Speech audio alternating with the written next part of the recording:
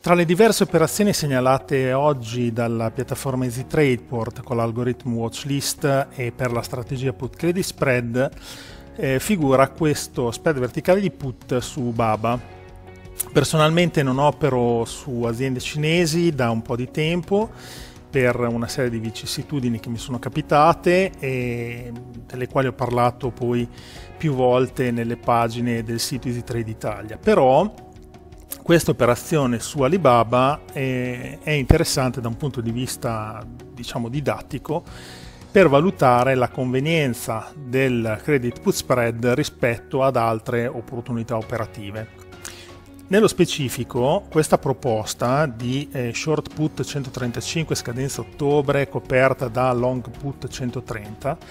ha un credito di 0,55 atteso ovviamente e una serie di probabilità che adesso poi andiamo a vedere nel dettaglio nell'option matrix. Proviamo a impostare l'operazione, la scadenza è abbiamo detto il 15 ottobre e consta di una short put 135 coperta da long put 130. Analizziamola così com'è e proviamo a passarla al nostro consueto calcolatore di convenienza statistica.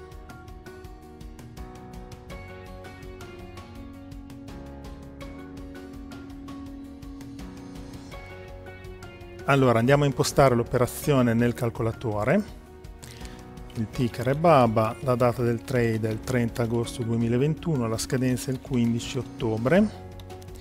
lo strike short è 135, il long 130, l'expected credit 0,55. Andiamo a prendere le probabilità a favore che vediamo sono tutte generalmente alte, non ci sono earnings in arrivo per cui non c'è la earning probability, comunque abbiamo normale 88, storica di breve 92, storica di lungo 96, stress test di breve di lungo 89-83, probabilità basata su volatilità implicita storica 97%, RSI stocastico e percentage point oscillator rispettivamente 199 e 94, quindi tutte probabilità decisamente elevate. Se andiamo a impostare queste probabilità, vediamo che abbiamo un'aspettativa ponderata di ritorno del 4.6%, che annualizzato è un 36,7 tenendo conto del numero di giorni che intercorrono tra la data in cui si cercherà di fare l'operazione e la data di scadenza. Bene, quindi l'operazione è a tutti gli effetti perseguibile, è un'operazione con un'aspettativa statistica positiva, quindi un'operazione che si potrebbe effettivamente prendere in considerazione di fare. Andiamo a vedere ehm, se ci può essere margine di manovra per poter sperare di prendere qualcosa di più. In realtà 3,65-3,75 il, il bid-ask alla chiusura di venerdì sera per la put 135, 3,310 quello per la put 30. Può darsi che con l'ordine combo eh, di una piattaforma come la, la TVS di Interactive Broker si possa prendere un 5 centesimi in più. Magari adesso vi provo a impostare qui un 3,70 vediamo se cambia qualcosa a livello di probabilità direi che non è cambiato nulla, faccio un, una prova rapida per vedere come controprova. Eh, no, infatti le probabilità sono rimaste tutte uguali, quindi l'unica cosa che cambia è il credito che da 0,55 passa probabilmente 0,6, la redditività attesa da un 4,6 passa a un 5,8 e l'annualizzata da un 36,7 a un 46,1, quindi sicuramente vale la pena tentare di spuntare questo piccolo credito in più se ci sono le condizioni per, per, farlo ovviamente. Tutto dipende ovviamente anche da come aprirà il titolo oggi, perché se il titolo apre a rialzo magari decade proprio completamente la, la fattibilità dell'operazione, quindi bisogna aspettare comunque l'apertura del mercato per poter fare qualunque altra valutazione. Però possiamo andare a fare anche un ragionamento diverso allora andiamo a prendere l'analisi completa del titolo. Vediamo un po' Innanzitutto diamo una rapidissima occhiata ai parametri di bilancio che mi sembrano abbastanza in ordine, non ci sono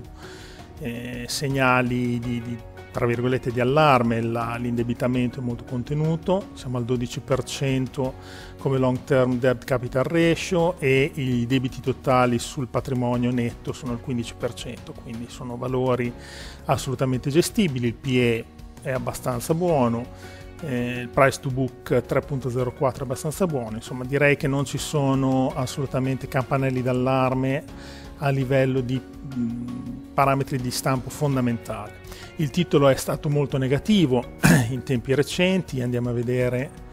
rapidamente il grafico per chi magari non lo stava seguendo da un po', viene da un massimo eh, superiore ai 300 dollari di ottobre 2020 e ad oggi eh, veleggia intorno, andiamo a stringere la vista, intorno ai 160, 158, 160 e quindi insomma ha perso circa il 50% dai massimi di pochi mesi fa. Io personalmente credo che sia destinato a scendere ancora perché comunque la, in, è in atto una specie di ritorsione contro le aziende cinesi quotate sui mercati americani per le vicissitudini che sono, che sono, successe recentemente su alcuni comparti, in particolare sul comparto educational, eh, sul quale una mattina il governo cinese si è svegliato decidendo che le aziende dovessero diventare delle onlus e quindi si sta verificando, credo, e questa è un po' la lettura che, che, ne sto facendo io, un po' una ritorsione a livello di sell-off un po' su tutte le aziende cinesi quotate sui mercati americani e temo che la situazione possa perdurare. Però comunque eh, ci possono essere delle opportunità che si potrebbero comunque cogliere. Adesso provo a, a mostrarvene una. Perché se andiamo a vedere il cono previsionale di traiettoria attesa al 15 ottobre per il titolo Baba, andiamo a impostare qua 35 giorni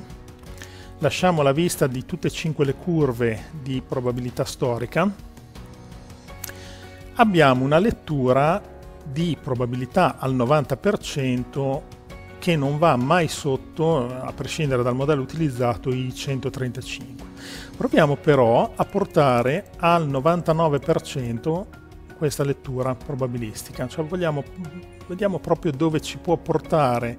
la discesa, se le cose vanno male, al 99% di probabilità. E qui vediamo che siamo intorno al 120. La lettura più bassa è con la probabilità un anno